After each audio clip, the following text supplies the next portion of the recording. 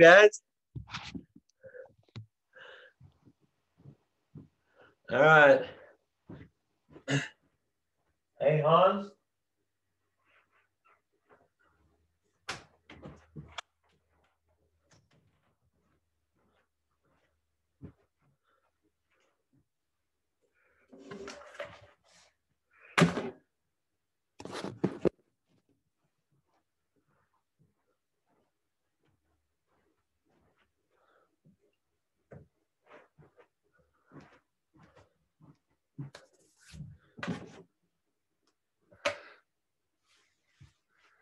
Hey guys, uh, just wanted to see if everybody can hear me.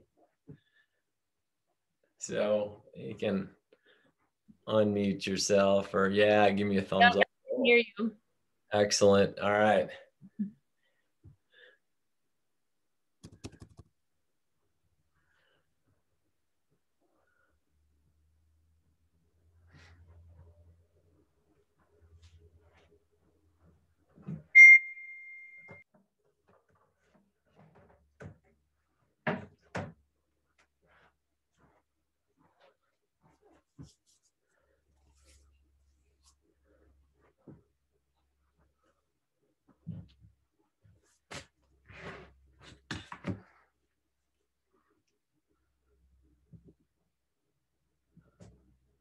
What do we got? All right.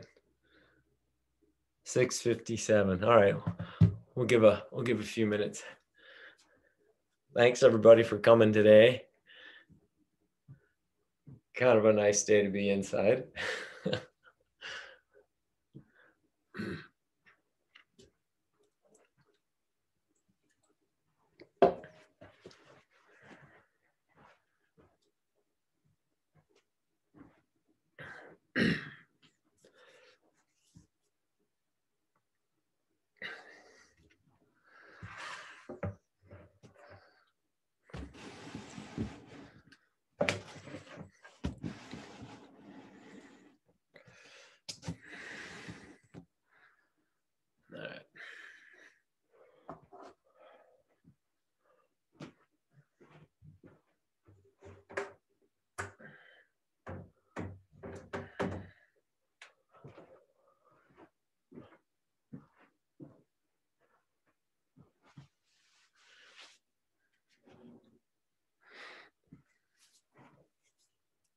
How's it going? Hey.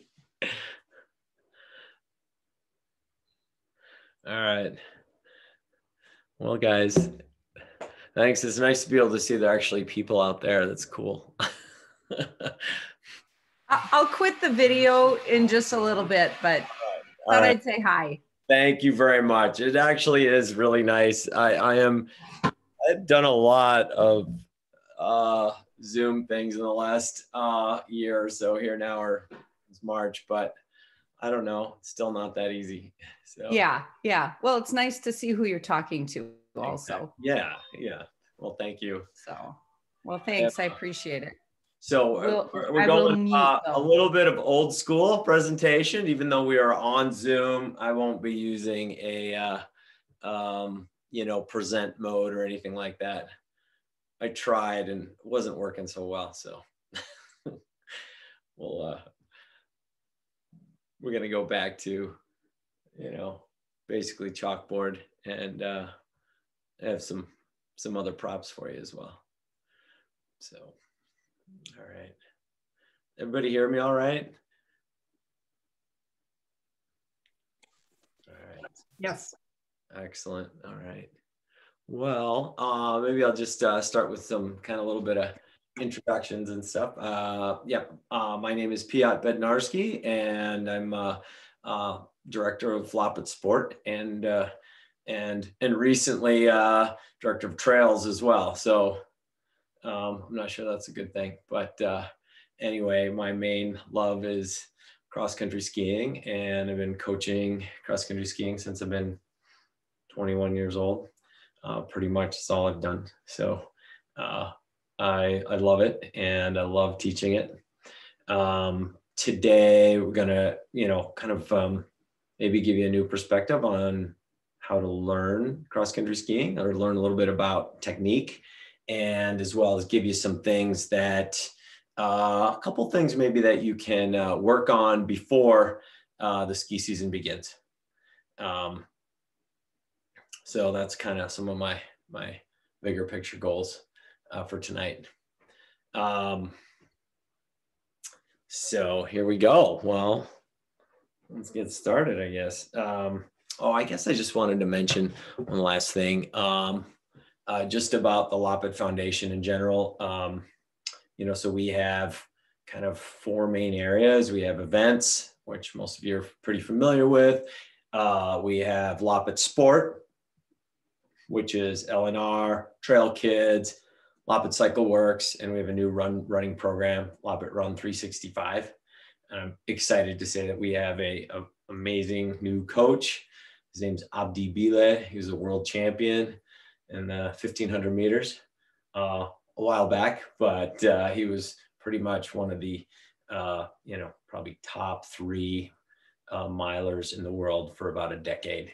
So super impressive, very cool guy. So we'll be having some training presentations by him as well. Anyway, um, the last portion, then we also have uh, with the Loppet Foundation in general, there's uh, trails, uh, trails and trailhead. And then the last part is uh, adventures, which is our um, our programs that we run in North Minneapolis that are in elementary schools and middle schools. Um, so that's kind of the, the big picture anyway, um, yeah, this year programs are going crazy. There's a ton of new programming. Uh, lots of people are signing up, as I'm sure everybody's heard. COVID, you know, there's not as much going on inside, so it's exciting for us. Uh, I mean, most of our programs are already filled, adults, kids, and so on. So we're just trying to hire new coaches and, uh, yeah, do a better job of that events. We will be having events this winter, but uh, they'll be a little different, uh, you know, than in past years. So probably a little bit smaller, um, but we're hoping to have a luminary, Loppet Festival, the whole deal. And we actually have an event coming up, the Turkey Traverse, the 5K. Uh, I think it's the weekend of the 20th. So coming up. Anyway, all right, that's a 5K running kind of trail race. It uses uh, the trails right around the trailhead as well as a lot of portions of the golf course. So, uh, okay, well, let's get going. Um, all right, I'm gonna just uh, start really technique and from a biomechanist point of view. Um, and I, I did, uh, uh, went to graduate school for biomechanics. Um, which was a great learning experience. It's not always easy to apply to cross country ski coaching, but you know from that point of view and we'll do a little bit of kind of biomechanics and how does that how does that apply to cross country skiing? So there's kind of four big elements weight shift and we'll talk about each one. So you don't have to memorize them right? Weight shift body position balance and timing. So we'll kind of, kind of go into each one of those. Uh, and um, and then uh, but first, I'm going to take, and here's my little skier guy. We'll talk about him to illustrate, uh, you know, body position. Um, but to start with, we're going to start with some ski math. And I think, uh, um, you know, because that'll give you a little bit of description of what exactly technique is. And this applies to a lot of sports. Uh, for sure, swimming would be very similar. So velocity equals, does anybody, uh, I'm just curious, anybody out there, you can, you know, uh, um, distance over time. What is, uh, how do you met, how do you determine, what's one of the ways to determine velocity? What are the determinants of, of running speed? Anybody know? Distance over time is the formula, isn't it? So it's, well, for, so like what parts of somebody's running, yeah, if you looked at it, it would be stride length times frequency and you can do the exact same thing in skiing, right? In, in, running, it's very easy to measure stride length. It's exactly how far, you know, from foot footfall to footfall. Um, so, but we'll we'll call it so, right? So stride length times your rate. Okay, how many, you know, steps per minute? And in cross country skiing, uh, the stride length is well. Here, let me just put it this way rate. That's how many steps per minute. And it's skiing. Let's see, you're doing V1. So here's a relaxed V1, and here's uh, a really high tempo. Um, is it, you know, would you say that it's really expensive uh, energy wise, metabolically, to increase your stride rate? Any, any guesses out there? So, yes. yeah, it, it's very expensive to, to increase your rate of whether it's running, skiing, the, the tempo at which you're skiing. It's very hard to increase in order to go faster, right? Because if you want to go faster, you got to increase one or both of these things. Well, when you're racing, hopefully you can increase increase that a little bit, your rate, but your stride length is basically your technique and is a very direct correlation. It's exact same thing if any of you are swimmers, right? The further you can go on one stroke in terms of distance, and even if over a long ski race, 10K or better yet, 50K, if each stride, if you've improved that stride by, you know, one inch, uh, 2.5 centimeters, uh, I mean, or more, it's going to add up. It's going to add up in a big way. So this is what technique is. It's basically technique times your tempo. All right. And as we get older, uh, I can tell you, uh, I'm guessing most of you understand, uh, tempo is super hard to increase. And you'd be lucky if you can just hold on. And so the point is, if you make improvements in your uh, technique, your stride length can increase or at least maintain where it is, and uh, and you're going to go faster. And plus, you're getting more fun. You know, look better. It's all sorts of good things happen. So that's ski math right there. Very important. Okay, in skiing, there are no footfalls. Um, so it's a little harder to measure, and we don't actually need to measure it. You can usually just feel if you're going a little further, but just for, uh, you know, if you are a, a scientist of any kind, and you're like, yeah, okay, think about it. If you're skating, for example, um, your skis never, there is no, like when you put your foot down in running, you actually, it stops right? While you move over it. Well, in cross country skiing, when you put your foot down, uh, it keeps moving, uh, right? In skating, anyway. So the um, so what you're measuring is the distance your center of mass moves uh, from pole plant to pole plant. So it's a little bit. Anyway, we'll talk. Uh, we'll talk a little bit about that. Uh, so it, it, it's a little bit different to measure uh, to to figure out what stride length is, but for our purposes uh, as a uh, student of the sport, just know that, hey, with every push or the between the, from one pole plant to the next, I need to be able to go a little bit further and I'm going to go a lot faster. Uh, so boom, that's it. All right. So how are we going to do that? How are we going to ex ex extend stride length? And so we're going to do it with all these different things. So first thing, weight shift. I'm just going to define it real quick. Often you're instructing, if you join an LNR group or, you know, you get some instruction, you will have people say, hey, um, yeah, we're going to work on weight shift. And it could be 10 degrees out and you're really not interested in those details because you're freezing to death. So, but right now we can go into the details a little bit. All right. So center of mass is basically, uh, you know, your belly button. Okay. And you want to be able to weight shift. The definition of weight shift for cross country skiing is moving your center of mass from one ski to the other.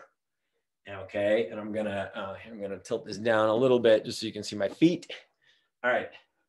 So if I'm skating, um, I want to be able to have my center mass. Here's my belly button over my ankle. All right. Should have brought white shoes or something, then you could see them better. All right.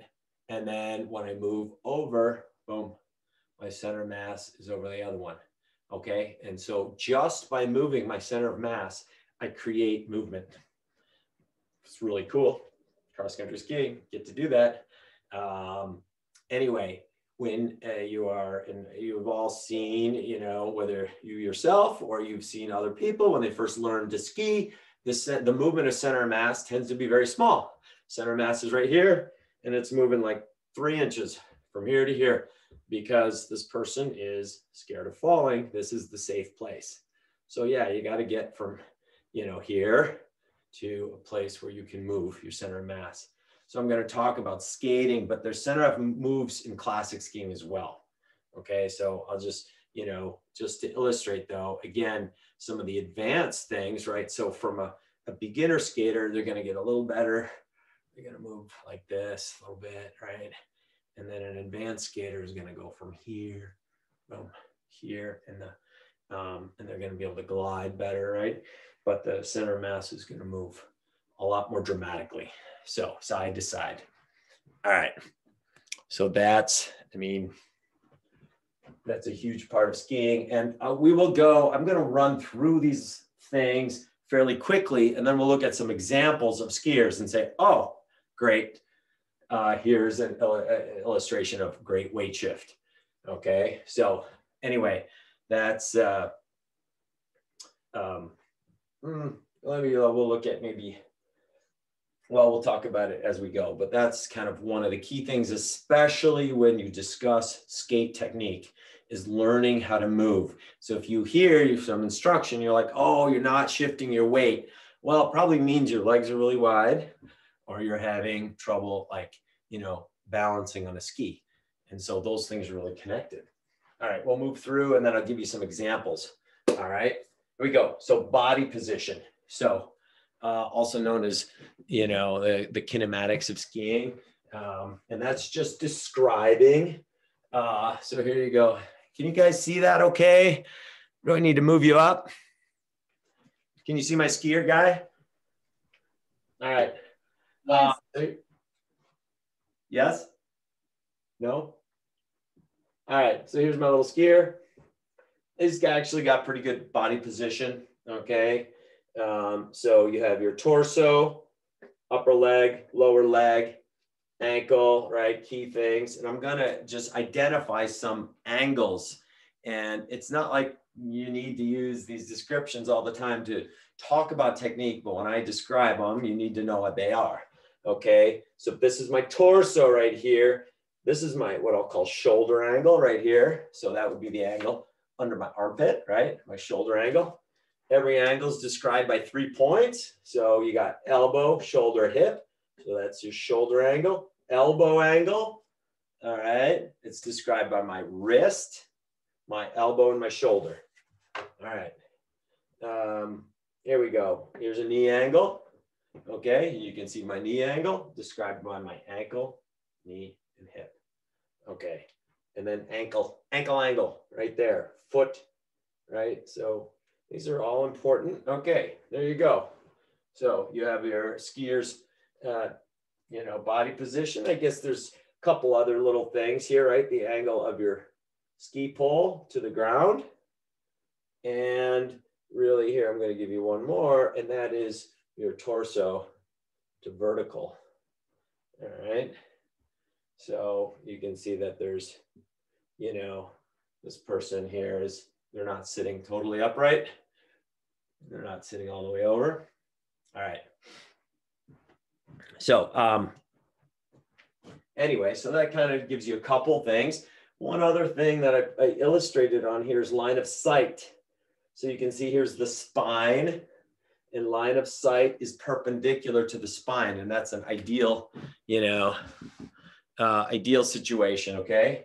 That, um, and we'll talk a little bit about more of that, about that. But um, really for good technique, you want your line of sight we call it natural head position, but that it's perpendicular to your spine. That means if your body's down here, you're not looking up, all right? And you're not, or if you're up here, you're not looking down, okay? Your neck is relaxed and it's most relaxed when your line of sight is perpendicular to your spine. Okay, uh, a couple other things to do with body position. Um, we'll talk about posture and athletic position. And without both of these things, your skiing and all your other sports skills are going to be a struggle. Okay. It's going to be hard to learn things. It's going to be hard to go fast. Uh, it doesn't matter if you're a beginner or fairly advanced. Um, these are super important. Uh, okay, so let's talk about posture. So good posture um, is uh, how, you know, here, well, mm, maybe we'll start with bad posture. Sometimes with instruction, I enjoy doing, showing what not to do, okay? Uh, you know, all the big uh, teaching philosophy is not to do that, but I find it to be fairly illustrative. Here we go, bad posture. There you go. Everybody knows what that looks like. And cross country skiing used to be taught this way that, oh, yes, it was relaxed, it was good. No, it's not good. Do not do it. It's very bad. It's bad for your health in general. All right. You know, you want to have good posture. And my posture is not the greatest because I didn't realize this until, you know, probably many, many years of cross country skiing. And I've been trying to improve it. Um, but the, some of the things that will define good posture as you ski are kind of chest forward, you know, and uh, yeah, just pulling chest forward and eyes up. Often people drop their head, you know, whether you're doing classic skiing or and the looking down and everything is rounded. Okay, skating, double pull, classic skiing, double pull, you know, position at pole plant, the upper back needs to be basically a straight line. That doesn't mean it's vertical. It can still lean forward, but it's not hunch, it's up. And you can see as soon as you bring your chest forward, your posture improves greatly. Everything works better. I'm just give you a couple things, okay? And if you take nothing else home from this little discussion today, it, this is the, the big one, okay? Posture. Um, and again, it doesn't matter what sport you do. This is important. Um, so uh, when you cross country ski, let's say you're double pulling, for example, here's one. Um, you come up to plant here, swing your hands up, you're a double pull. If you're hunched, it's very difficult to use your abdominals, your core, because you're hunched and these all these abs are short right now. Okay, well, they need to be long. All muscles work best when they are stretched. So you, and so double pulling, no different. Here, you can just, here, check them out, feel those abs. All right, and then hunch over. Okay, they're all bunched up. Here, exaggerate a little bit, stand way up. Okay, now they're long, right? Especially if you did like a bunch of sit-ups or something. If they were sore, you could really feel it. You reach out, uh, your abs, right? They're connected to your pelvis and up here on your sternum and your ribs. Okay, so Good posture stretches that out. Good posture opens your lungs. Okay, so those are key things for cross country skiing. Okay, huge. All right, athletic position. Um, athletic position, all that means is that um, you are aware of um, ankle bent, knee, and ankles and knees slightly bent. Here, I'm gonna, uh, basically you gotta look like that guy right there, my little skier. Okay. And I'm just gonna focus here on my lower body. Boom, right there. And it, you know, for our purposes right now, it doesn't matter where the arms are, okay? What matters is what's happening down here, okay? Ankles are flexed, knees have a little bend, my torso is maybe leaning a tiny bit forward, okay? Basically, lower leg, torso, parallel. This would not be parallel. Okay. All right. And I see a ton of people, uh, especially adults learning to ski, will spend a lot of time like this. And then they say, My back hurts. All right. Well, yes, mm, your back hurts because you're hunched over and your legs are straight. So it doesn't matter really whether you're skating, whether you're doing double pull, um, all those things. Anytime your poles hit the ground, you need to have um, like perfect athletic position, torso and lower leg parallel. If you're going to err on the and, and on either side, you got to have your torso a little more upright. All right. So my little guy, I mean, he doesn't have to be perfectly parallel. He could have, he could be a little bit more upright. Right. And that's fine too. All right. And for most adults, you know, this perfect parallel lines is kind of what I would expect from, you know, a really good junior skier, a good, really good collegiate skier. uh, or you know international level skier. Um, if you're a little bit more upright, that's better. Okay, so um, really quick athletic position, and you might have maybe you play tennis, maybe you play baseball or basketball. It does not matter. It is the same. Okay, if you are like waiting for a serve in tennis, you're here. You are here, right here. You are not like this. You might see people warming up to start their, um, you know, but if you're anticipating movement, it is from this position, right? Ankles bent, knees bent, and torso is not here. Boom. All right. And so every technique, it doesn't matter if I'm classic skiing, it doesn't matter if I'm double poling, it doesn't matter if I'm skating, they're all in the exact same position. All right. And that's kind of a nice thing about this, our little just presentation today. It doesn't, all this stuff doesn't, it applies to classic and skate. We don't have to do a lot of specific, oh, this is about classic, this is about skate. Um, anyway, you can go through the sports. It doesn't matter. Basketball, um, you know, same thing. You're moving, you're preparing, you know, here. If you're cross country skiing, we showed you, I showed you all the positions. Um, if you're uh, skiing the Birkie, going down a hill, there's like people all around you. You're a little nervous. You're like, yeah, I've been practicing my downhills, but I'm not with a hundred people. Um, a lot of people, the first thing they do, here they go, downhill, straight legs and bent over. Or just like this, ah, right? No. Ankles bent, knees bent, torso up right here. This is the safest and fastest way down, right? So you can still step, you can move, boom, boom, but your torso is just a little bit lean forward. Spend a lot of time, I spend a, a lot of time with um, uh, teaching adult groups and juniors, of course, and uh, we'll spend time working on cornering and slaloms and so on. And is the number one mistake uh, is people go into like taking a little turn. And I'm not, I'm not talking slalom like on a super fast downhill. I'm talking like flat or very gentle downhill. And even in those situations, you know, just learning how to step turn quickly. It's all about going to this position. All right, so maybe uh, one of those things you can do, get in front of a mirror and you say, all right, what does that look like? What does that feel like? Um, the big thing you have to focus on is ankles bent. All right, you don't have to think about bending your knees because you cannot bend your knees without bending your ankles. It's, um, if you bend your ankles, your knees will bend. I guess you can bend your knees without your ankles. That would be the on the can position. This is very uh, not so fast. So ankles, knees, bent, torso fairly upright. All right, let's see. Okay, so we talked about posture. We talked about athletic position. Uh, we'll talk a second about balance.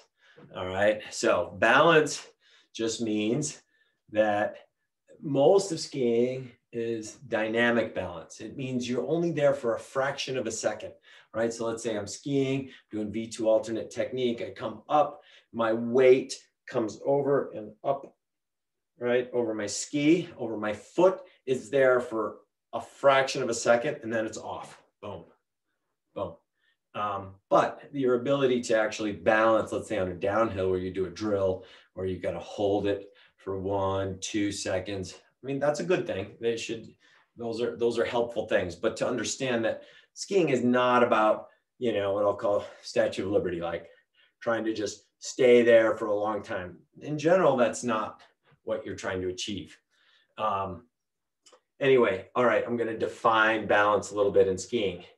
You know, balance means, oh, my balance, it means that your center mass is over your foot. okay. So if I'm really balanced, here's my center of mass. You can see, hopefully you can see my, my foot right here. Okay, and um, I am not balanced here. There's no way I can be balanced. Here's my center of mass is between my feet. Okay, this is the only way. you can see when I am balanced, my hips are flat, okay?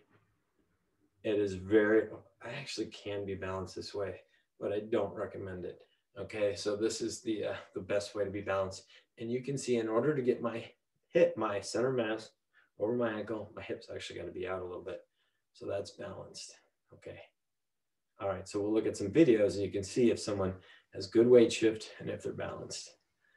All right. Um, last, yeah, let's see. Okay, and then um, real quick on timing, I'm not going to spend much time on that right now. Timing is what differentiates all the different techniques. All right. And so I'm guessing, and maybe uh, I'm going to ask you guys uh, maybe to turn on your microphones here in a second.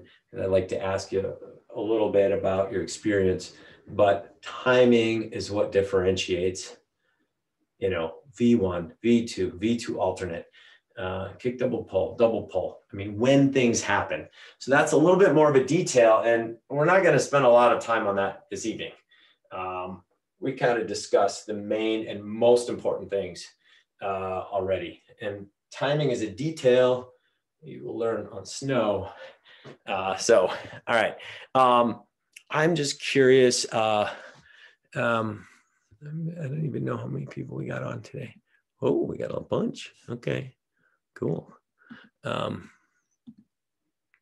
there we go. Well, I'm going to go with the assumption that most of you guys have, uh, you know, uh, an idea a little bit about different ski techniques. Um, but I'm going to try to keep everything we talk about pretty basic. All right. So, um, all right, we did ski math. We talked about weight shift body position. All right. Okay, we're going to add a couple things. Um, just real quickly um, about, I'm just going to finish this up. I'm almost there. Um, and that is uh, what is range of motion. All right.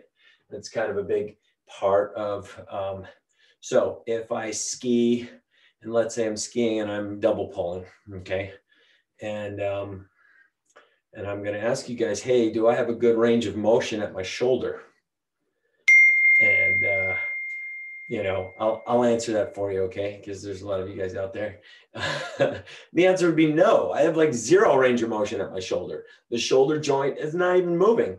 So a lot of people, when they learn how to ski, you know, or they, um, so this would be a good range of motion at the shoulder, right? My range of motion is basically the angles that your, uh, the joint goes through, okay? So um, you need to learn to create good range of motion. And in a very general statement, big range of motion is good in any sport. Okay, so if we talk about cross country skiing, having good range of motion at the shoulder, okay, here I'm gonna have a good range of motion at my elbow. It's gonna start about 90, it's gonna finish at 180. All right, now I'm gonna show you range of motion, you know, with my legs, okay? So a lot of people when they first start skiing are very stiff and that's just normal. You're nervous or you just you can't balance, all those things. And so the legs are very stiff, okay? Um, and there's very little motion. But often you'll see like little kids, like six years old, seven years old, once they learn how to skate, they have crazy range of motion. And that means they're using lots of ankle bend and lots of knee bend. And so their, um, their ankles and knees go through a huge range of motion.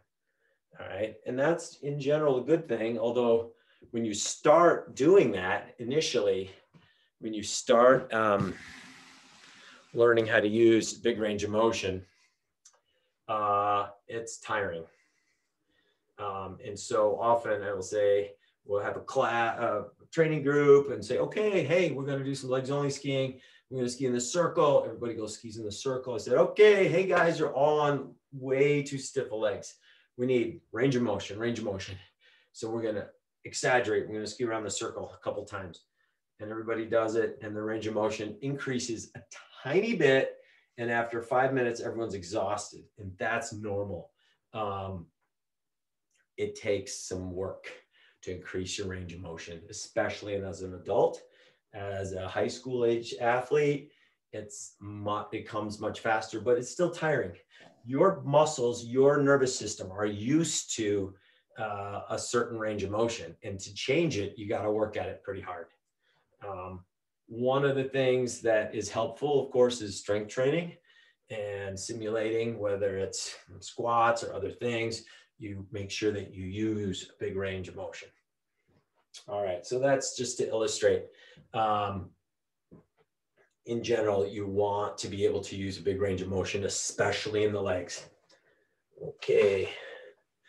Um, okay, as far as, uh, so we talked range of motion. I'm going to describe one thing here, just what I call push, push theory.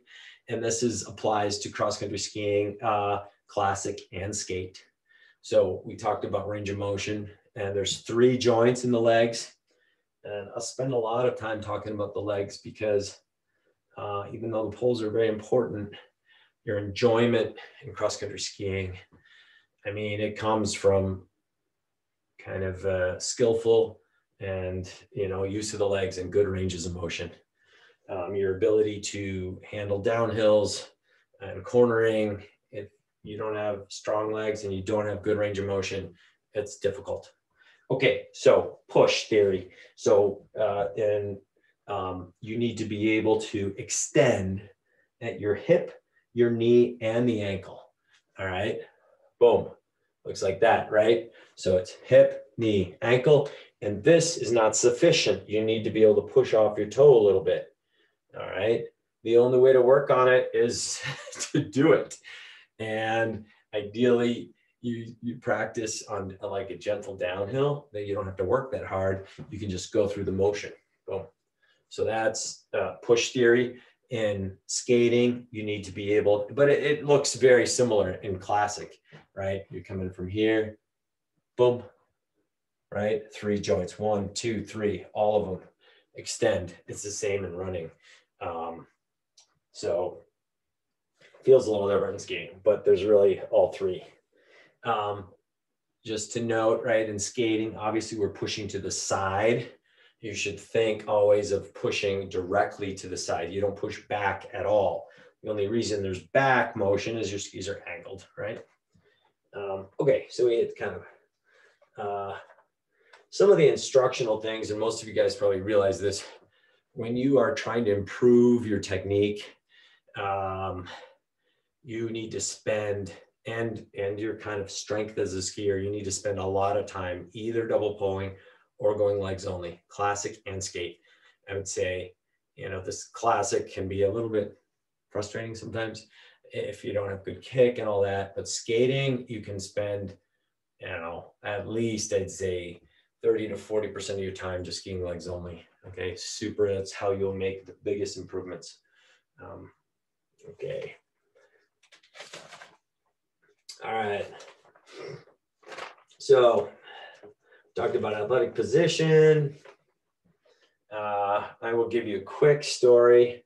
Um, and I've been talking a lot about this athletic position and torso and lower leg.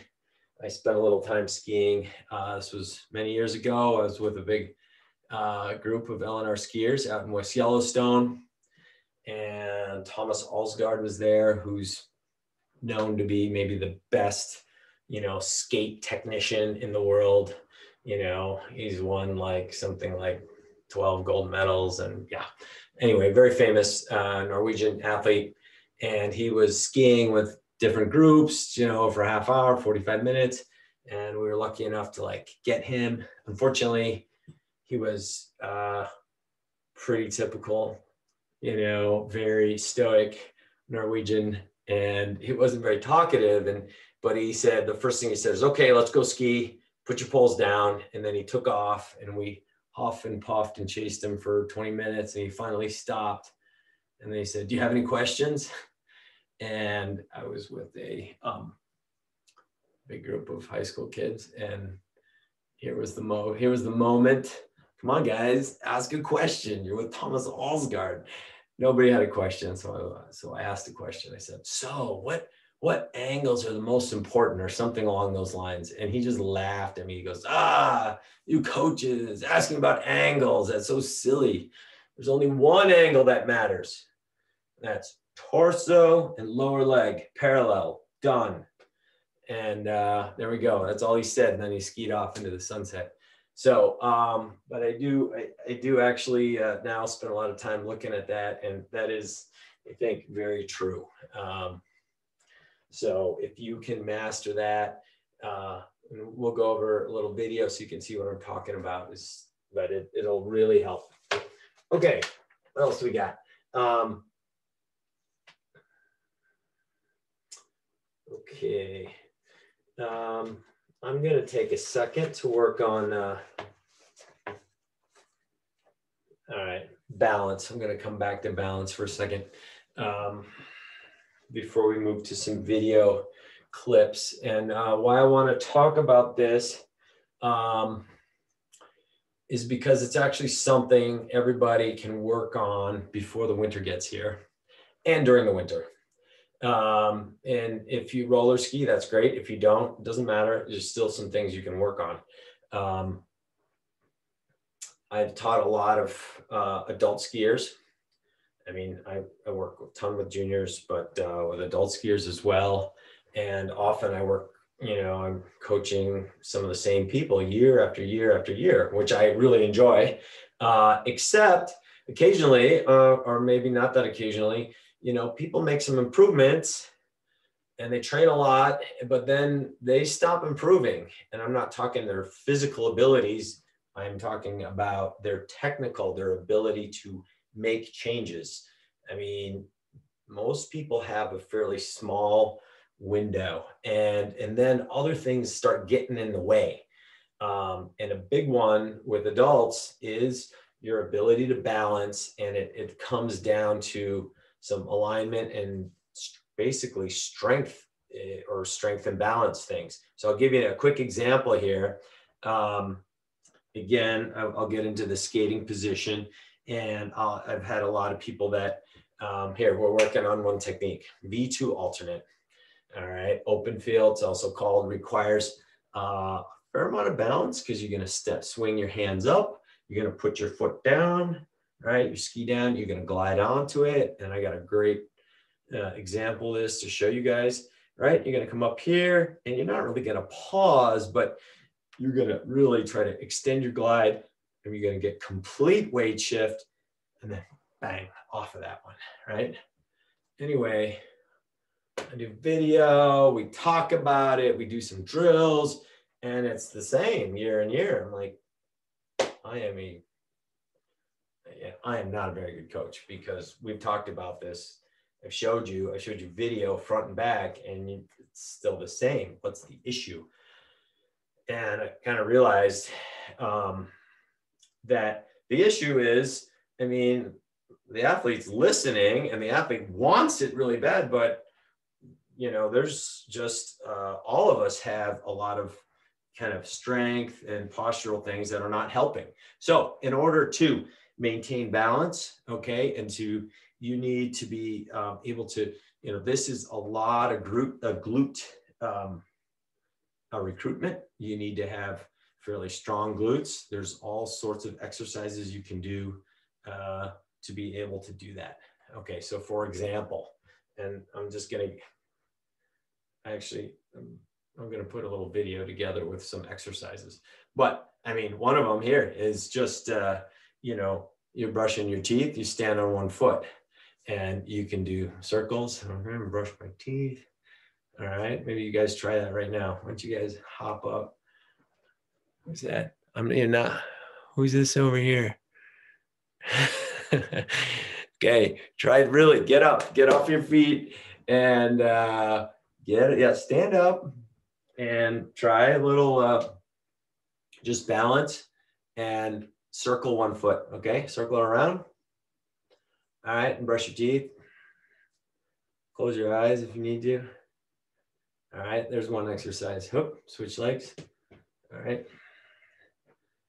There we go. All right, I'm brushing my teeth. Wow, okay. You want to make that a little bit harder? You fold up a towel you put onto your foot. You want to make it a little harder, you get a balance pillow. They cost like 10 bucks on Amazon. All right. Uh, I don't think I have one here. A lot of you guys have seen the Bosu balls. Bosus are great, but you don't need anything that fancy. Okay, here, I'll give you another one. There's a whole bunch more, and I'm just gonna take two minutes to illustrate. Uh, you can go on YouTube and come up with a bazillion exercises. But here we go, here's another one. Um, uh, I call it the modified Romanian deadlift, one-legged, but you balance on one leg, hands up in the air. You could use a little weight or not, boom. I'm gonna come back down, boom, boom up, all right, up, all right. If you do this and you can feel, especially here, you get into a T, drive your foot back. Here, I want you guys just to hold on to that for a second. Okay, you feel that glute, that glute, they are working. They are working. All right, let's try it. Let's switch feet. That gets everybody up. All right, switch feet. Up. All right, hands boom, T, perfect T, point your toe down. This is a rotated hip, don't do that here. All right, oh, balance.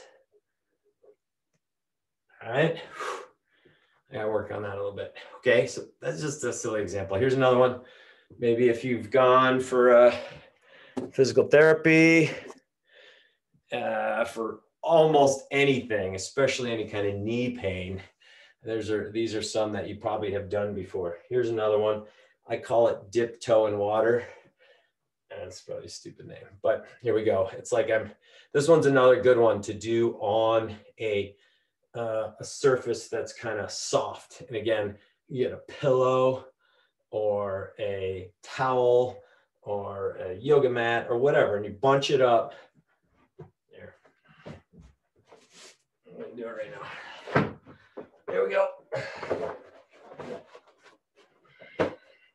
This just makes it slightly more unstable. All right. Good. All right. Dip toe in and it elevates you, which is kind of nice. Here's dip toe in water. I'm going to take both my hands. I'm going to take my other foot, reach over, up, up, down. I reach over. You can feel that I did a, a, little strength class this morning, so my glutes are kind of killing me, but up. All right, you get the idea. Let's switch legs. I'm standing up. Hands are just going straight up. Coming down. Touch the ground. So I'm bending my supporting leg a little bit and I push my other leg through so I can feel a lot. Oh, this is not really a strength exercise. It's just an engagement. Kind of gets those. So there you go. All right. Basically, when you recruit your glutes well, it helps you bring your knee in. That's called alignment, knee alignment. And if you have trouble doing that, if you're trying to ride a ski and your knees are flopping in, and that's very common, most of us are kind of constructed that way a little bit but it's really hard to ride a flat ski. And so when you try to swing your hands up and to get on that flat ski in your knees like this, what's going to happen is you're going to boom and come right off it. You're never going to actually get up on that ski. So anyway, this is, uh, or let's say you're even, you're in a tuck and you're just going down the hill and you need good alignment. You look at my knees. I don't want my knees together. Okay because often if I do that, I'll be riding my inside edges. I want to be able to keep my feet. Right, often I ski behind someone and I can see exactly, especially if they're on roller skis, because when you're on elevated on wheels and you're and you're leaning them in, it's super obvious. Okay, so that's alignment. All right, and um, I guess the last term I'll call it here is kind of bone on bone balance, where I'm here I can use my bony structures, basically my lower leg and my upper knee and my upper leg with a little bit of help from my glutes. This is very easy place. I have a little bit of ankle bend. I'm not locking it out because if I hit something, I'm gonna fall. I got here, here, boom. All right, so that's where I'm skiing. Um, all right. Uh, I spent a little time on that because it's something you can actually like act on. And there are a lot more things you can do. You don't need to go crazy and like, uh, but there's, you know, there's tons of exercises you can use with bands, right? Where you're stepping, you put a band around your knees. Those are good too. I really like the balance oriented ones because you get both strength and uh, kind of the uh, nervous system, you know, working to help you balance. All right, so, so that's your homework. All right. Okay. So what I want to do now is give you a couple examples. I'm going to do a tiny bit of double pull instruction. Um, and then we will go uh, to some video examples of kind of, all right. So um, if you guys can hop up, and um, I will say, uh, I really enjoy doing these presentations in person. Um, so then we can do this together. Uh, but unfortunately, um, that's not possible right now. so we're gonna do the best we can. All right, so stand up. It's good to move. Hopefully, I'm not boring you too much. Um, so here we go. We're gonna work on. Um, so we're gonna do some a little bit of double pulling, and just to note, it doesn't matter if you're double pulling classic or skate. I mean, the differences are super minute and I will describe a little bit, okay? But um, so a couple big things. First, we're gonna just start with some arm swing, okay? Boom. So this is pretty good arm swing, up. I'm getting a range of motion here at when my hands are stopping, my elbows are close to 90, maybe a little bit. This is not a ski technique, okay? Closer to 90. You're gonna see a opening here, maybe you know, if I'm just swinging, it's close to 90 as well. Okay, this is not a good way to ski. Okay, it's called dinosaur arms. Don't do that. Okay, so you want to be able to swing, open them up. Okay, and it does depend, of course, like the faster you're going, let's say you're skiing on a downhill, double pulling on a gentle downhill, and the conditions are fast. This is going to be, you're going to open up more. Or if you're double pulling up a whatever, you're trying to double pull up a hill because you have no kick or you just decided you want to double pull, then you're going to be tighter. This is not going to open as much, but it still has to open. Very important. Okay. So here we go. Let's do a couple arm swings. Swing, swing. All right. There we go. So let's see if you can see yourself. You can pin your own video right now. All right. Um, on your uh, on your thing if you want and you can see hey am i opening my angle here all right okay so that's arm swing range of motion next uh, let's uh posture right when you come up hopefully you're not like this right so i'm going to swing up chest up eyes up up up all right there we go posture all right we're going to talk eyes, hands, and shoulders is the next one. Um, so very common mistake, mistake, double pulling is um, just trying to ski with your arms. And even if your arms are really strong, it's a big mistake. All right. And most of us arms aren't that strong and they're definitely, so Anyway, don't do that. Um, you need to use your torso. You need to use your abs. You need to use your core. Everybody's heard that a million times. Okay, but if you ski like this, that's what's happening. And a lot of people do it. Okay, especially when they're starting, but even once they're fairly good. Okay, so there's no, what you need is displacement, vertical displacement of the shoulder. All right, boom. okay, that's easy. All right, and that's to come uh, and uh, maybe you've done this drill, lock and load. Basically, lock and load drill just means hands, eyes, shoulders. They're locked together. They start at the pull plant, boom. And about one third of your pulling stroke is going to be in lock and load, especially if you're going uphill at all. The speed is moderate to low. Okay, boom. Even at high speed, um, it should, you know, someone's V2 sprinting, this is no good. Even at very high speed, it's got to be crunch, a very quick drop in the shoulder. All right. And if you're going, yeah, so yeah, so practice that a couple times. So lock and load. So here we're going to back up and we're going to just do the drill. Okay. Eyes, hands, shoulders, crunch, crunch, crunch, crunch. Okay. And you wouldn't normally ski like that, right? That's a drill. Uh, although I would challenge you um, next time you're on roller skis or you go and get on snow and you get to a big hill, it's a pretty steep one. Um, the only way you're going to double pull up a, a steep hill is basically doing lock and load. Okay. Uh, you can even come to a stop between each pulling stroke and you'll go up no problem. It's not that hard. Here, crunch, crunch. A lot of people, um, they're, they're like, this is normal. It just happens. They will plant their poles and they'll start really low and they'll plant and they'll try to go like this. I'm going to double pull up the big hill, you know, as a strength thing or whatever. That is like a disaster. No, no, no. Okay. Abs are totally used up, right? It's all bad. So you need to, you know, hands up. You need to be fairly upright and crunch, short crunch. It's done. Boom. You do not come down here. All right. Boom, boom. All right. Um, there are some differences, classic and skate skate pole's a little bit longer. And so you can be a little bit slightly more upright and you probably won't come down as far. The classic pole, there is, you know, you're going to use a little more um, range of motion, maybe at the waist, but it's still in general, most of your power is coming in here. My torso is never horizontal, right? Never. It's not helpful.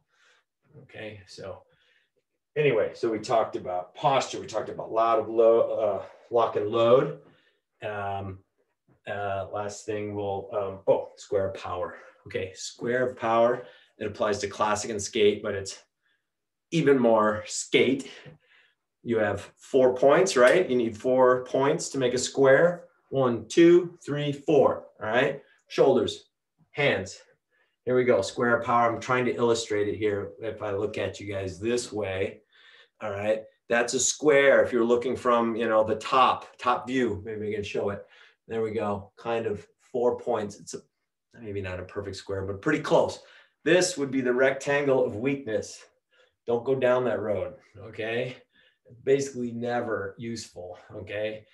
If you are double pulling on a really high speed situation, gentle downhill, your hands will come out further, but never like this. Okay skating because of the pull length, pretty much always in the square power. okay. But uh, what it's getting at is most people, especially in their early parts of learning technique, uh, or if they were used to skiing with very short poles back when, um, are used to this. Don't do that. It's not helpful. Boom. Okay. So there you go, square power. And there are little variations on where your hands should be based on the speed, based on the angle of climb. Uh, we don't need to fuss with that too much. Um, just try to like remember the, okay. So, and then I'm going to break her, break her down here. Double pulling. So, um, order of operations. Okay. Order of muscle recruitment. How's that? First thing that's recruited, boom, is you plant your poles and you got lock and load going. So I'm knowing you guys are all saying to yourselves, yeah, that's obvious. It's the core, it's the abs. Good, nice job.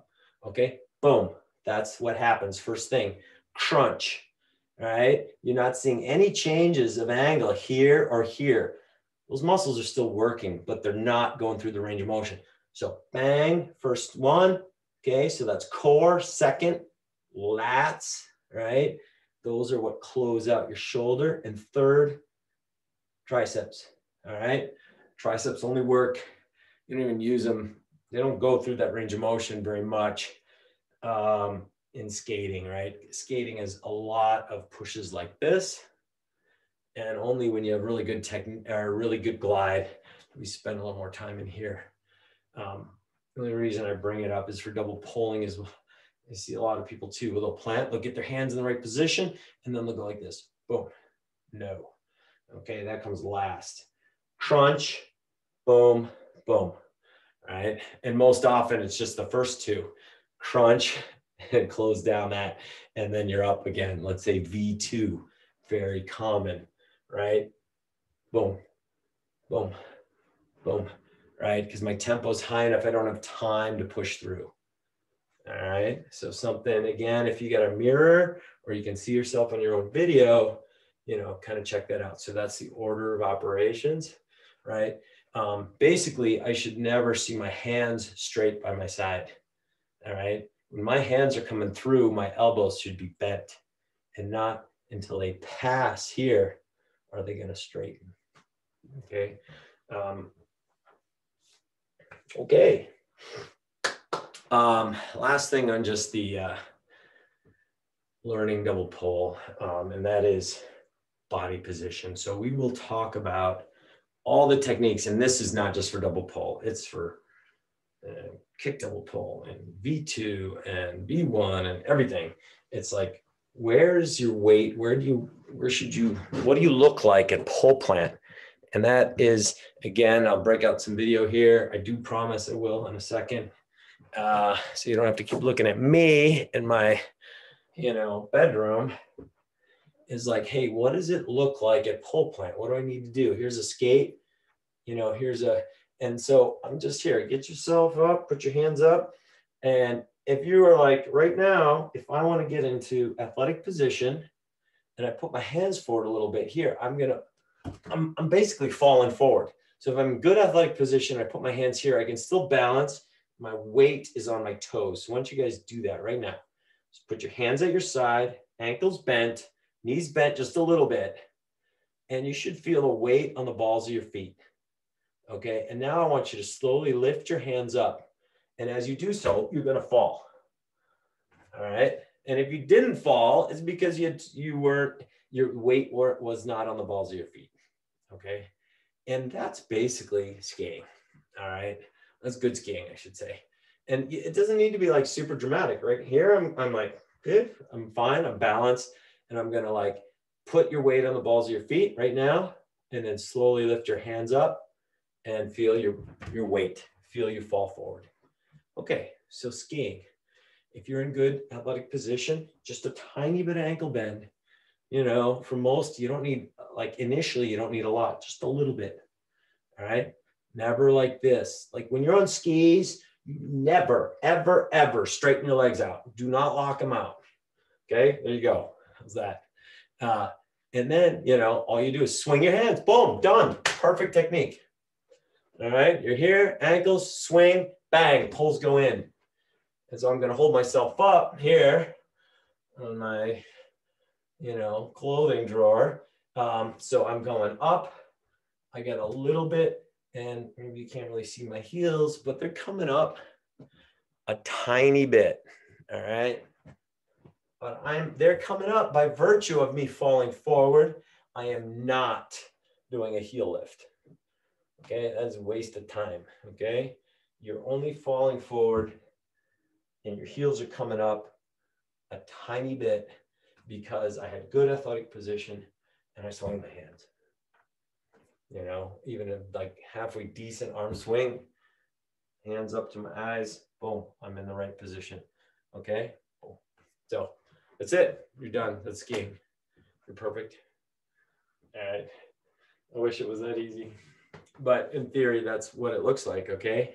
Now let's do the same thing. I want you to, I want you to uh, um, swing out onto one foot. Boom. Okay. So that's V2 alternate. Oh, or V2, doesn't matter. Right. I'm swinging up and my weight as my hands, I put my foot down. As my hand comes forward, my weight moves under the ball of my foot. And I have to like brace in order not to fall over. Now, if I had my poles and I was moving down the ski track, I would just put them in the ground, load up the weight of my upper body, bang, off I go. All right. Okay, it's 7.59. I'm going to show you a couple examples, all right, of uh, uh, some ski technique. Um, so hold on, I'm gonna go get my iPad.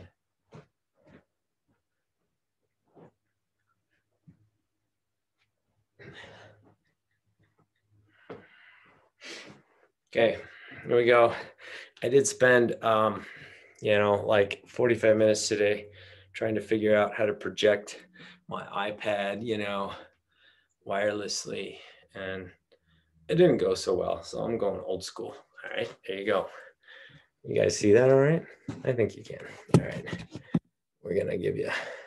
All right. So here we go. Here's, um, oh, this app, by the way, uh, everybody uh, who uh, loves skiing should just get the app. It's like the Swiss skiing app. Go to your, it's, it's maybe five bucks. It's awesome. It's got all the techniques broken down. Um, you know, you could go on YouTube and see all this stuff, but it's really nice to have on your phone or iPad. So anyway, here we go. Here's a guy doing a little legs only. I'm just going to play him briefly. Okay. All right. Now, unfortunately, a lot of these guys, guys and women that are skiing on here are amazing skiers, Swiss national team people. Um, you're to see my, uh, you're not to see my face here too much. Okay. But you can see his face. Anyway, um, so they are wonderful examples, but most of us can't ski this way. And maybe if you're like, uh, you know, 18 year old, like high level college athlete, or often I've seen a lot of like 10 year olds that have such good ankle flexion. Nevertheless, we can see this kind of for to just to illustrate some things. Big ankle, uh, right? A lot of ankle bend. You can see the foot being placed down with ankle bend and all right. Oh, here we go. It's going to go slow mo, I think, for us. All right. The other part I want you to see here is the extension. So this is skating. That's pretty awesome. Okay, this guy's got some nice extension. All right, he's also doing what I'd call speed skater, and I'm going to continue to play this. Um, and I like to do a lot of training this way. Um, you see how his arms are moving? He's very uh, aggressive with his arms. This is a great shot right now. Okay. Boom. Sorry. Oh, okay. Oops. I guess I should have turned that off. I didn't think of that. All right. Okay, so this is awesome skiing right here. And now you get to see fantastic weight shift. Okay, that's good weight shift. And you know, this is this guy's you know pro uh, World Cup skier. That's a perfect illustration. If you look at his belly button, is right over the ski. Okay, and um, and he's using his arms to really create uh, to help him emphasize the weight shift. The thing he's doing well is he's not twisting his shoulders. All right. So I'm to just, so anyway, this is just uh, a wonderful example. Love this. Here we go. Okay. Couple little things um, that he's doing right there. You see he brought his foot underneath him. And this is a pretty advanced move right here, but you can see he's going to put it down on the inside edge of the ski. All right. All right. Right there. Okay. And so it's going to be just for a moment, a fraction of a second on the inside. There you go, inside edge. Now it's flat. Now it's flat for a little bit. And then as his weight moves off, it's angled onto the inside. Most of us, you know, barely get onto a flat ski. And now he does the same thing on the other ski. It's edged a tiny bit on the outside. So that's a fairly advanced move. But so you understand what it means to ride a flat ski is it actually means at high speed, and he's going pretty fast. They actually ride. Uh, here we go. Boom. All right, cool. So that's um, a little skating legs only. Uh, I'm gonna illustrate. Here we go. Uh, here we go. All right. They call this two skating. We call it V2 alternate. Um, all right. So this a little bit. All right, here we go. So, and same thing, they're going to show him from the side. And you can see right now, he's almost got a rectangle of uh, rectangle weakness going. Uh, this is Dario Cologna, so he can maybe afford that. Uh, he's reaching out. You see his elbow angles are pretty small, uh, or, or, I should say very large, right? He's, he's extended his arms out. That's because he's going really fast. Um, All right, so big swing, really into that double pole position. All right, now it's going to slow it down for us. It'll be like boom. And you can see how he's going up. And this is just same as double pull. You can see he's got, look at that uh, um, really nice uh, posture, big shoulder angle. You know, his elbow angle is fairly open, but again, he's going fast. So we'll let him get away with it. You can see his lower leg. He's on his right leg. A little bit of flexion right there, but not much. It's fairly straight, right? And now he's going to crunch, right? He got that little bit of, um, what do you call it? Lock and load. Now he's moving into the lats. And then the last bit, you can see his hands come through. Boom. And it, even triceps. And so this is, yeah, he's really good. Now we're going to see from the front, and you're going to be able to see a little bit of, uh, oh yeah, this is awesome. Kind of a scary looking suit, but kind of cool. All right.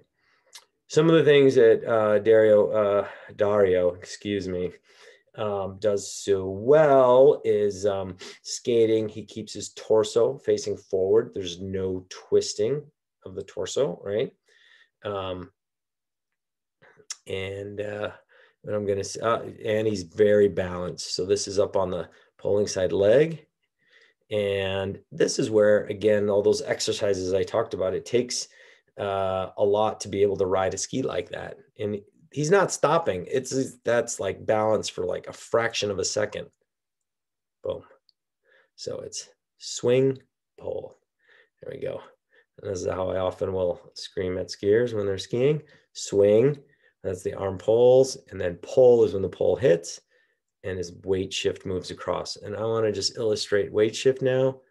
Boom. Okay, so you can see, look at his belly button. It's directly over his, uh, that'd be his right ski. Okay, and and is now as he's going to plant his poles and then drive. So the pole plant and the leg push and the weight shift are all going to happen. And he moves very quickly off that ski. There we go. Push across. And then he finishes. And the weight shift isn't quite as good on the non pulling side. You can see where his belly button is, but that's normal. Most people get really good weight shift on that side and not. There we go. Anyway, you get the point. Okay, so that's V2 alternate showing some really good weight shift. Okay, all right. Um, I'm going to show you one more. Um, and I really like this skier. Uh, she's not famous like Dario Cologna, but she has awesome technique. Um, okay, this is maybe something all of us can relate to a little bit. And this is herringbone skate, also called coach's skate, also called wimp skate. I don't think it's wimp skate. I use it all the time. Uh, but anyway, here. Uh, so here she goes, up, up, up. Now, normally you'd use it on a lot steeper hill than this. Um, uh, but for filming purposes, I'm sure they didn't have another good hill to use. Anyway, it doesn't matter. I'm going to project it here. Uh, either way, she does it really well. Why I want to show you is that the upper body positions, again, it doesn't matter. Uh, at pole plant, there you go. There's pole plant. I'm going to take the pole, the next one. Oops, I missed it. Anyway, my point was that you're going to see really good. Um, oops. Uh, you're going to see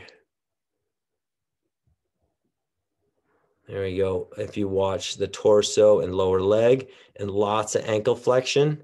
This is one, you're going up a steep hill, Berkey style. Yeah, this is, and now you can see the weight shift at low speed is much smaller. On a steep hill, you're gonna have very little weight shift. You can see her hands, even though she's not double pulling, you can see still square power that coming right in front of her joints. And this is really important. Yeah, she's awesome. And so I, I, love teaching herringbone skate because nobody thinks like there's any technique involved. You just watch this and you know how to do it. See their hands right in front of her shoulder joint?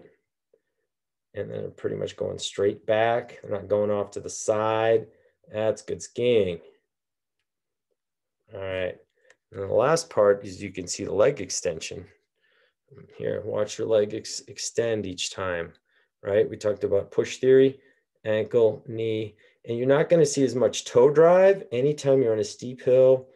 The you're not going to see the final push on the toe. All right, cool. So that was some good stuff. Let's take a look at a.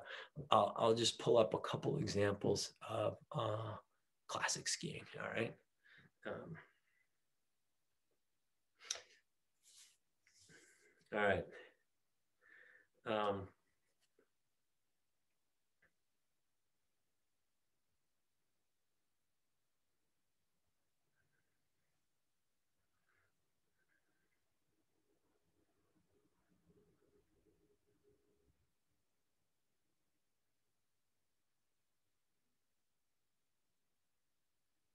All right, here we go. Classic. Diagonal stride. I'm going to start with uh, um, some double pull. Actually, I'm not crazy about his double pull here, but I'll show it anyway. All right, here we go. We're going to take a second. I know he's Dario, so how could I say that? But often the very strongest skiers, um, you know, do some weird things because they can get away with it. Um, anyway, but here we go. There's a good pole plant. You can see the poles are quite vertical. So this is a fraction of a second before the poles go in the ground, right? All right, pretty good, pretty good position right there. Um, you got, you see a lot of shoulder angle. You can see a little bit of ankle flexion, right? Look at his torso, really nice posture, very straight back. And you can look at his eyes Look at that perpendicular to his spine. Like that's all good stuff right there. Okay. Now, if he was going uphill, you would see a little more elbow bend and you would see those pole tips a lot closer, closer to his toes. As, as you can see, it's completely flat. Okay. So that's kind of the, all right, I'm going to walk it forward a little bit. All right. Oops. Boom, boom. All right. Boom. Okay. One. All right pulls in, crunch, and you're gonna see this is all just crunch, crunch, crunch, right? This, this is uh, lock and load, lock and load. And now shoulder, right joint is, so the lats are engaged, right? And now, yeah, boom. And now he's up. He's coming up a little bit. Okay. So that's kind of flat double pull. Boom. And he's definitely getting his heels up a little bit. And we'll slow it down here for a second. Boom. All right. Up, nice posture. He does that really well. You can see his torso. I mean, it never comes, you know, to horizontal. It's definitely a little above that, which is great. Um, okay. Uh, I know a lot of athletes and that are on the World Cup, and you'll see um, they don't even come uh, as low as he did. Um, and why that is is because he didn't actually. They will have a little more flexion in their ankles, and this is an important. Uh, I'll just give you guys.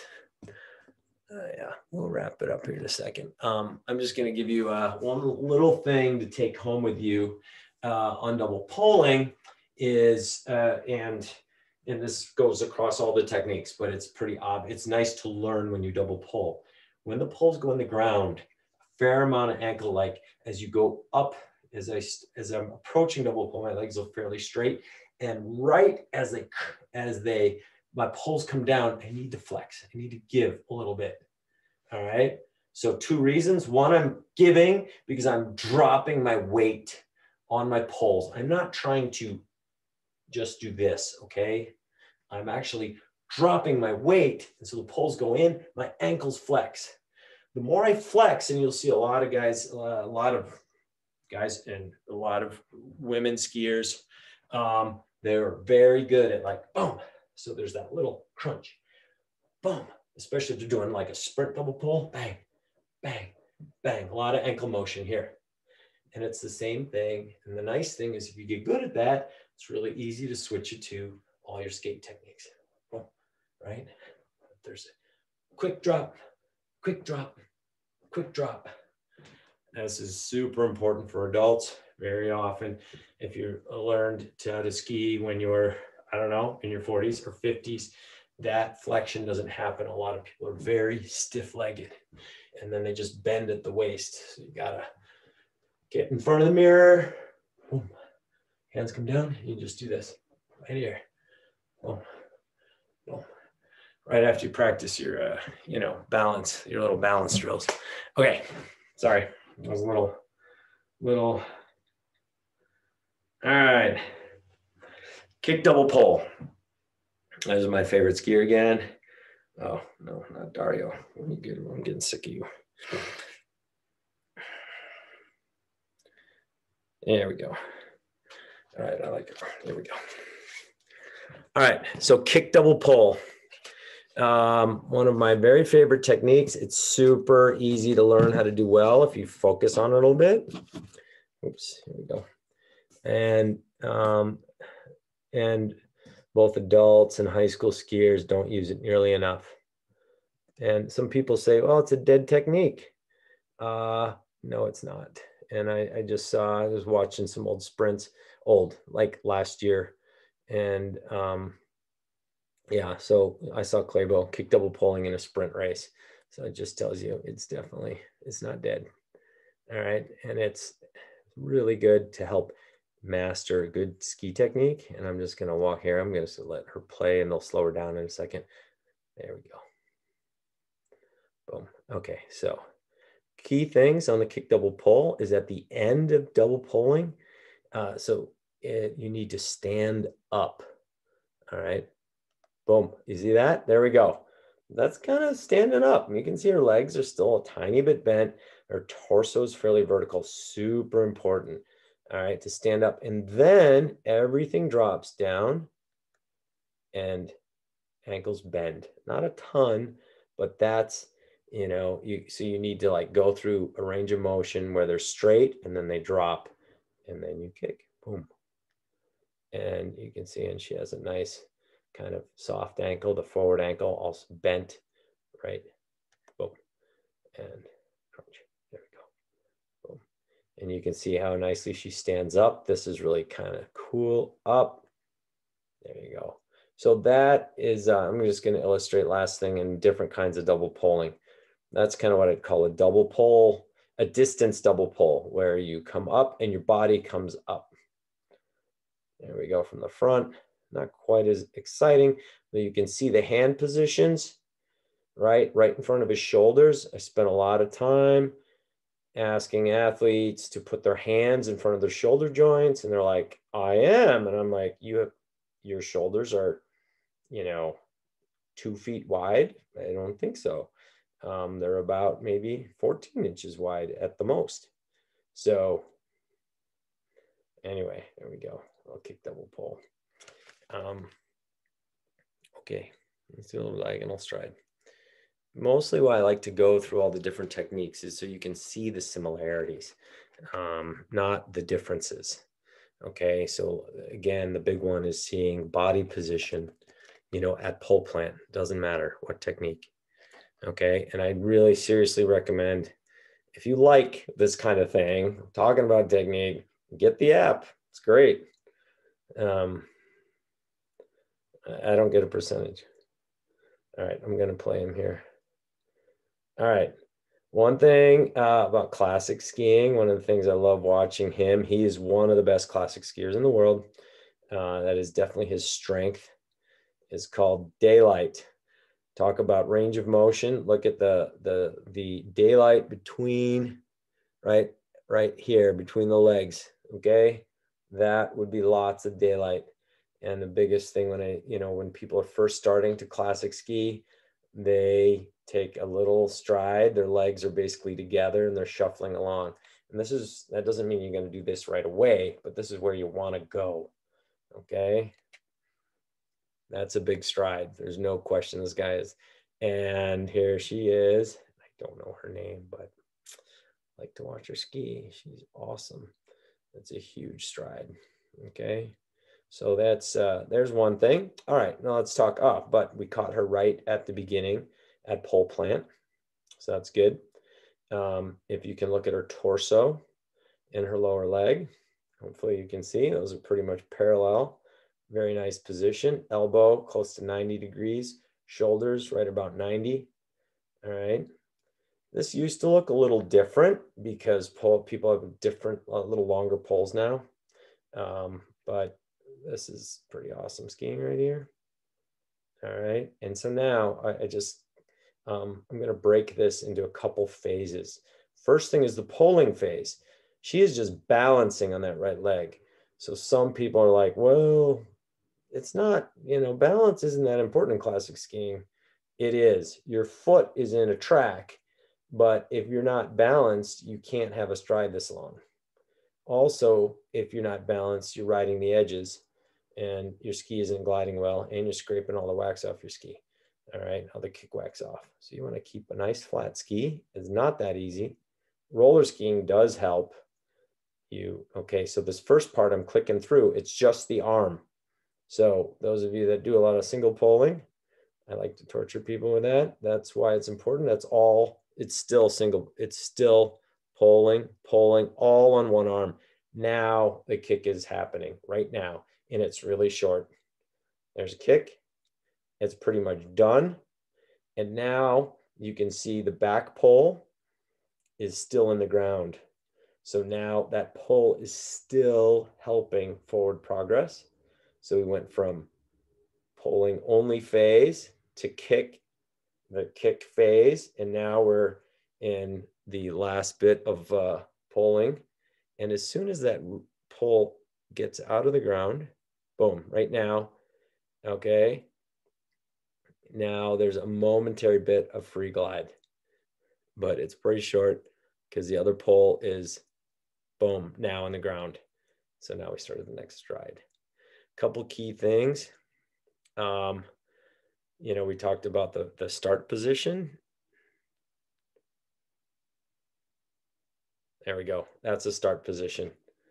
And again, look at the elbow. It is bent, right? The pole, that's really, really good. And you see her back arm, this arm, right? You can see this arm right here. It's a perfectly straight line from her shoulder to the pole basket. And for those juniors that train with me, boy, that is that is the deal right there. That's perfect, like relaxed arm swing. And that's what I insist on. All right. That's like yeah, and very few people ski like that. I'm going to show you an example. That's why I would spend a fair amount of time, often in the parking lot or at the beginning of a ski, because most people they'll do this, and it's like, yeah, that's good running technique. That's not a good ski. Classic skiing, boom, boom, boom, boom, boom. You can do it in the mirror. Like, can I swing my hands and I let my pole go, and you should be able to see my knuckles a lot of people, it's how your straps are adjusted and so on. When you use classic ski, you got to let go. It doesn't look like this with the fist hand like that. And the pole just goes straight back. And then you swing your hand up and you grab the pole right here somewhere. Back. Put it in the ground. Okay. That looks, that's awesome. That's fantastic. So if you're learning how to classic ski or you've been classic skiing for a year or two and you're like, yeah, that put that image in your mind. That's what you want to ski like.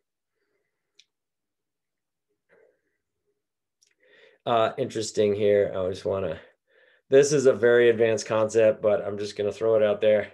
You start here. This is a classic kick right now. You go from here and this is called the hitch. You're going to see her left leg or kicking leg. It's actually going to straighten momentarily. Look at that. It is totally straight. Sometimes it'll look like it's hyperextended.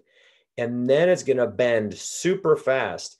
And I will play it in full motion and you won't even see that happen. It goes from ankle bent to, to ankle and knee bent to no bend whatsoever.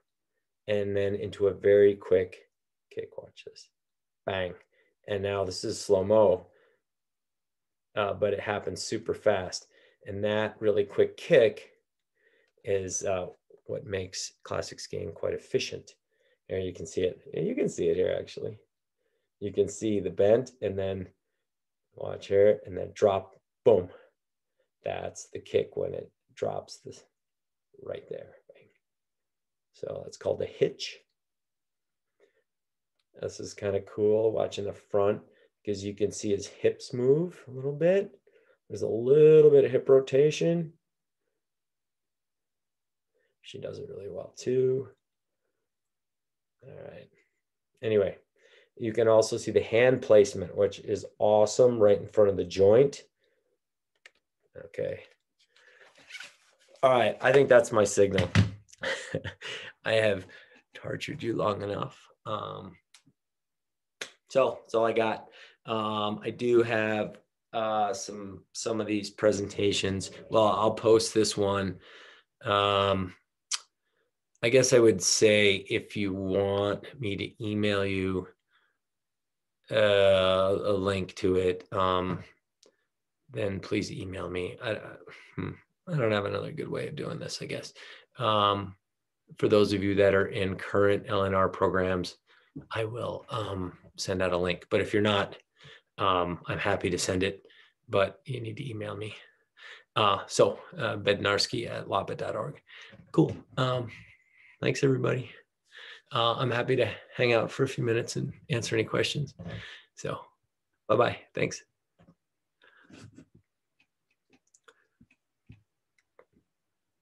Oh, the exact app name. Um, yeah, I, I, I mean, if you go to the App Store and look under Swiss cross country skiing or something like that, um, hmm, I have it right here. Let me see if it has an exact name. I'm gonna look right now. But yeah, if anybody has a question, I, I can look in the uh, the chat there if you have a question. But if you wanna, uh, let's see it uh, it just says Swiss cross country skiing. Let me see. Cross country skiing, Swiss ski. That's, all I got. Hmm. So, anyway. So yeah. Anybody got any questions? I could turn the recording off. Would that make you less bashful?